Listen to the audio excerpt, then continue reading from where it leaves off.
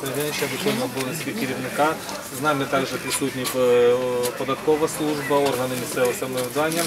У нас є доручення прем'єр-міністра України стосовно е, легалізації заробітної плати, оформлення сплати усіх податків. Пенсійний фонд та Державна податкова служба в Києві проаналізують цю всю програму, тому що надії на території всієї України, і доведуть ці списки ризикових підприємців та підприємств. Я хочу наголосити до всіх е, роботодавців, щоб вони почали оформлювати е, працівників, щоб потім нам було дуже больно за дані дії, які приведуть до таких е, величезних штрафів. У вас є всі документи, ви легалізовані, ви сплачуєте податки. Податки, так, Тому що, тому що хочеться сказати, що зараз е, відповідальність за е, неоформленого працівника це 30 мінімальних заробітних плат. На сьогодні це складає е, 141 690 гривень.